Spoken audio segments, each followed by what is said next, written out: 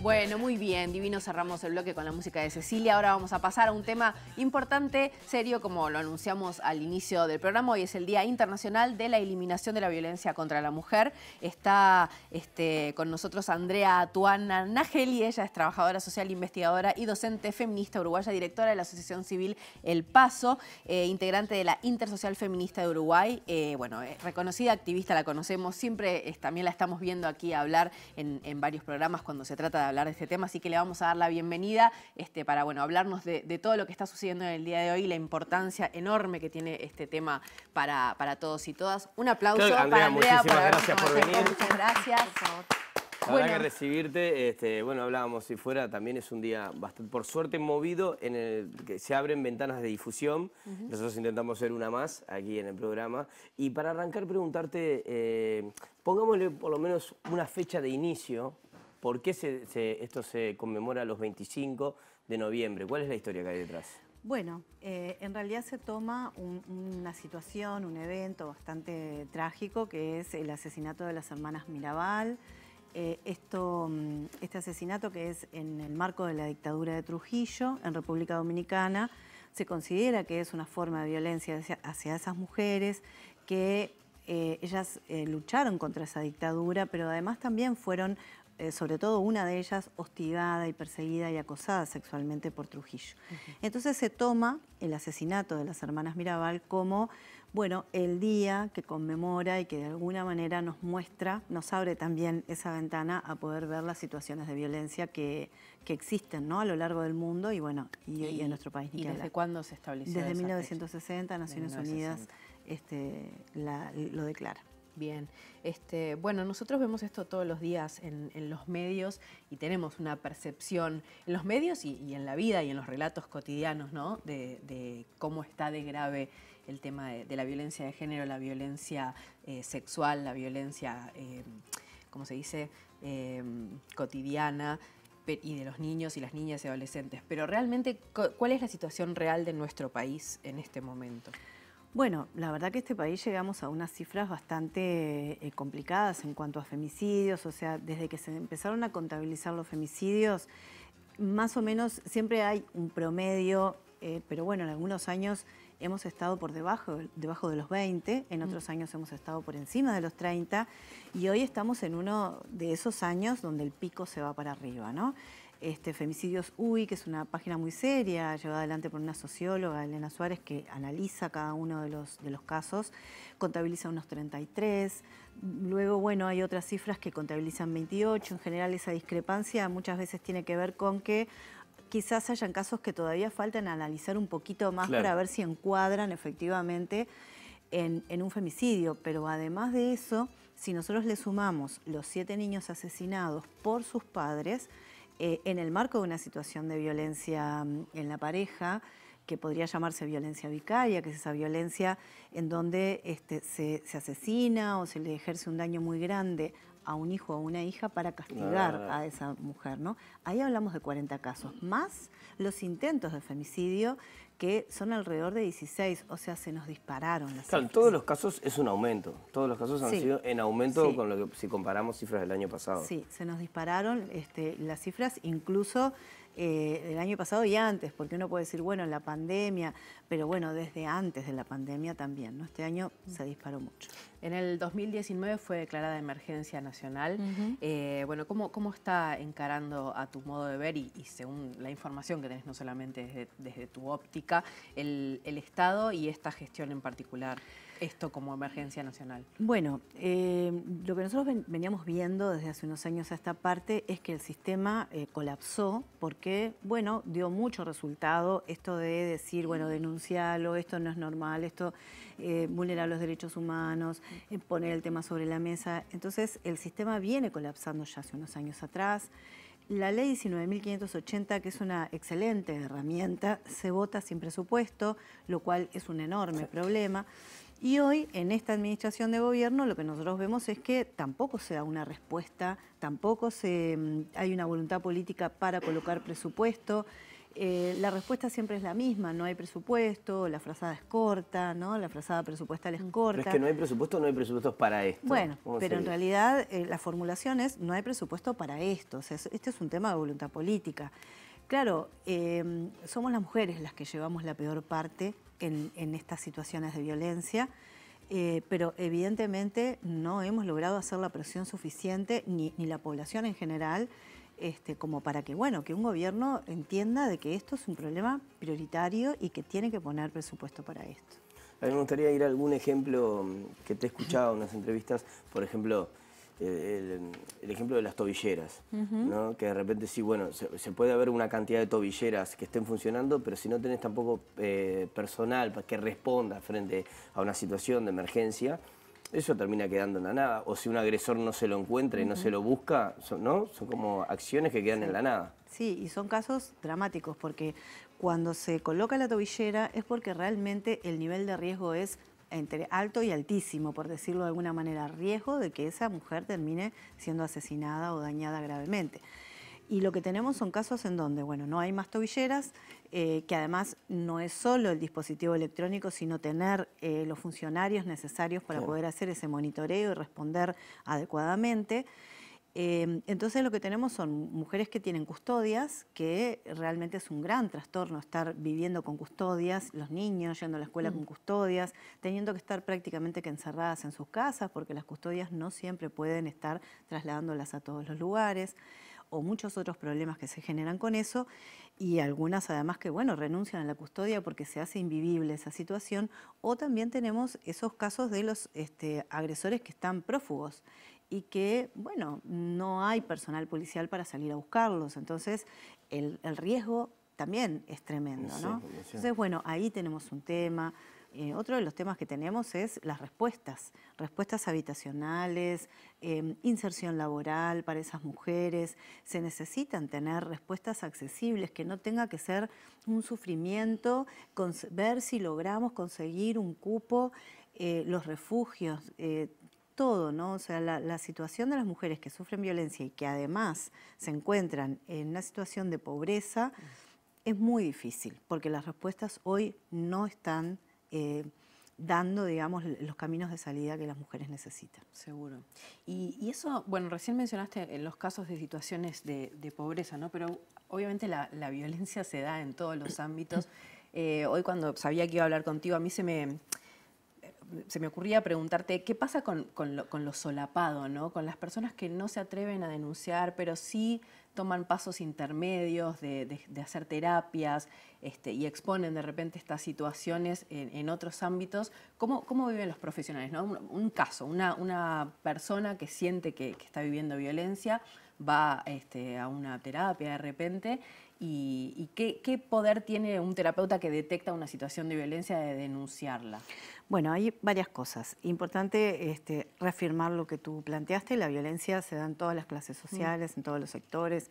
Gente que tiene maestrías, doctorados, gente que no ha terminado la escuela.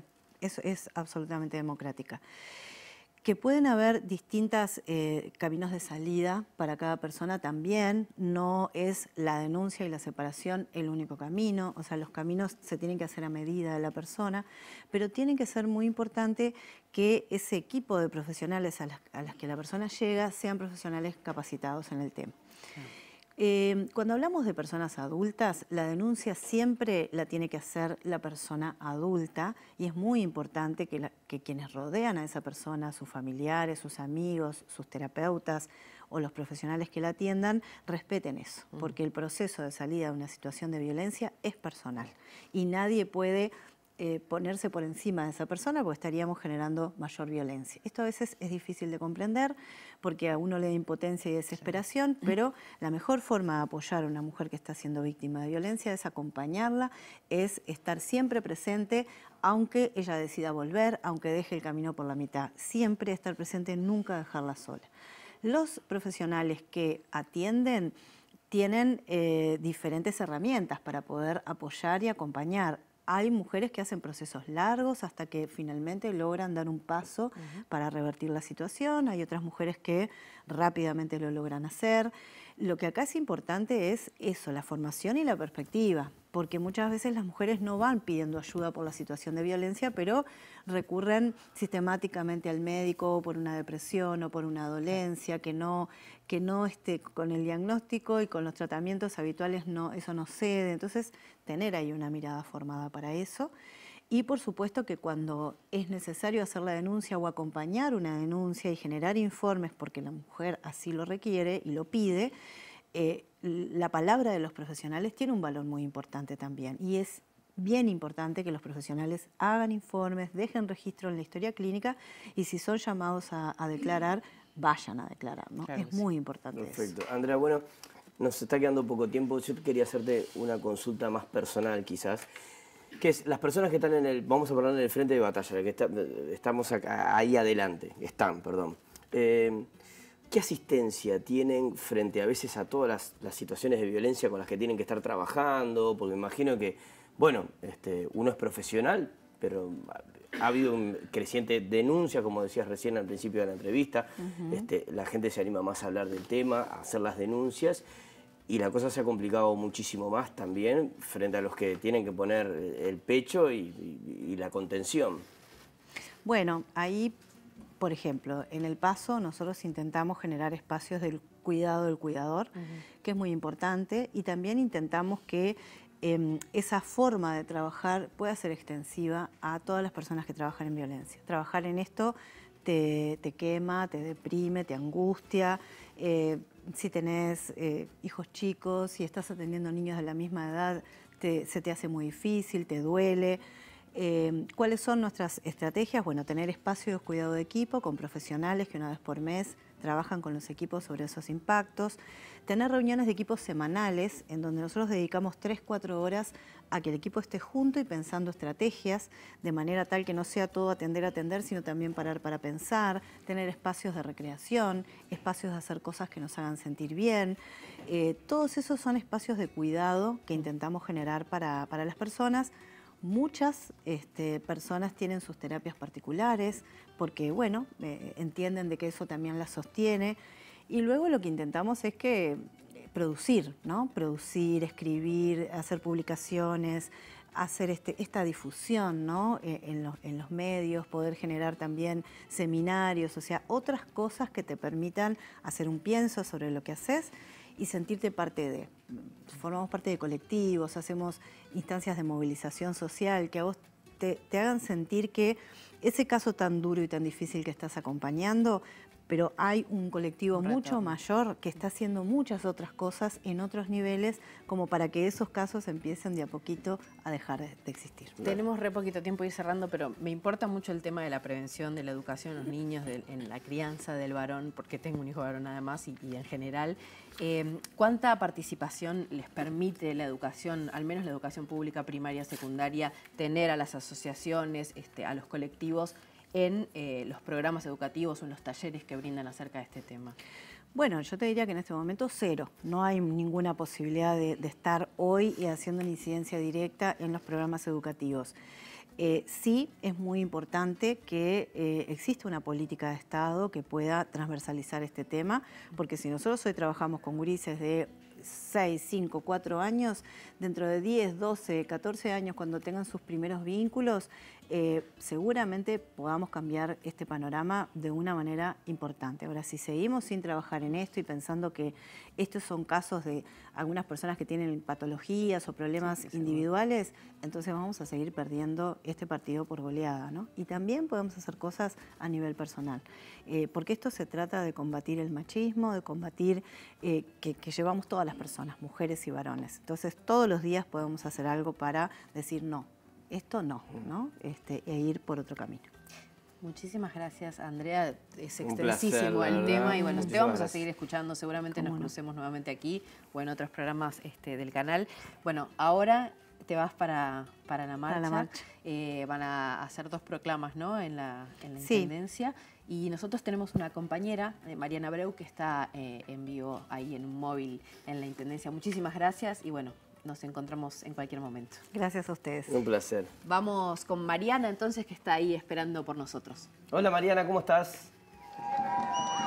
¿Cómo ¿Cómo andan? Pablo, Lucila, el saludo para todos. Estamos aquí en la Plaza Independencia. Como bien decían, está por comenzar una de estas convocatorias que hay en este día tan especial, el 25N, Día contra la Violencia hacia las Mujeres. Y como verán, aquí eh, a mi alrededor está comenzando precisamente esta movilización multitudinaria que se traslada por la calle 18 de julio hasta la Intendencia de Montevideo, donde se van a estar leyendo estas reivindicaciones de las que tanto conversaron recién junto a Andrea Tuana, una movilización que tiene como consigna juntas y diversas contra todas las violencias. Vamos a mostrar un poquito lo que es esta convocatoria en la que participan muchísimos colectivos, muchísimas mujeres independientes que se acercaron aquí a 18 de julio. Están las mujeres que fueron presas políticas en la dictadura, están los colectivos, por ejemplo, que integran diferentes sindicatos, FUCBAM, organización de jubilados, mujeres jóvenes también y organizaciones más nuevas en, lo que es la lucha feminista y en contra de la violencia de género. Más al final de la marcha está la organización Mujeres de Negro con otro tono, otra impronta de la que estamos viendo aquí. Eh, ellas marchan de luto, vestidas de negro, en silencio. Así que bueno, es eh, una movilización en la que cada colectivo y cada mujer aporta su, forma de reivindicación particular. Vamos a acercarnos a ver, eh, a recoger algunos de los testimonios, por ejemplo, por aquí. ¿Cómo están viviendo este día tan especial? ¿De qué colectivo son ustedes?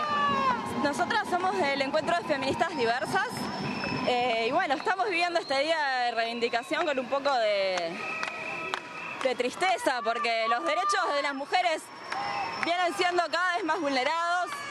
Em, cada ocho días hay un feminicidio en este país. Em, y siguen desapareciendo mujeres, muchas de las cuales no son encontradas y no vuelven. Nuestros registros en el encuentro de feministas diversas son de que al menos 116 mujeres fueron denunciadas desaparecidas en redes sociales y de esas solamente cinco eh, de esas solamente 5 quedan desaparecidas, pero nos seguimos preguntando dónde está, qué pasó con ellas, qué pasa, por qué nadie este, las busca, más allá de sus familias, más allá del movimiento feminista que acompaña. ¿Qué se busca con, este tipo de, de, movilizaciones? Visibilizar este fenómeno, que la sociedad tome conciencia, tener respuestas por parte de las autoridades. Sí, definitivamente generar que no pase nunca más. Y para que no pase nunca más tiene que haber un compromiso de la sociedad toda y también, naturalmente, del gobierno, para que se tomen las acciones necesarias para garantizar los derechos y la vida de las mujeres. Le agradecemos mucho entonces una de las mujeres que está siendo partícipa de esta marcha, como decía, multitudinaria, avanza por 18 de julio hacia la Intendencia de Montevideo, una de las movilizaciones que hay en el día de hoy. También la coordinadora de feminismos del Uruguay hizo su propia convocatoria en la Plaza Libertad hacia la explanada de la Universidad eh, de la República, en donde va a estar, eh, va a estar también compartiendo su, su proclama. En este momento hay cánticos, pueden ver las diferentes pancartas y carteles que, bueno, que hicieron las mujeres y los colectivos para esta instancia en particular y me parece que no hay mucho más que agregar, sino compartir estas imágenes y, y, bueno, el pulso de lo que se está viviendo aquí en 18 de julio. Así que me despido con las imágenes de nuestro compañero Leonardo Badel aquí en 18 de julio.